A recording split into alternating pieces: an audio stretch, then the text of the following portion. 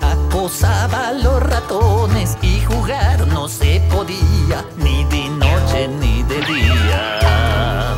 Los inocentes pensamos arreglar la situación y un congreso organizamos buscando una solución.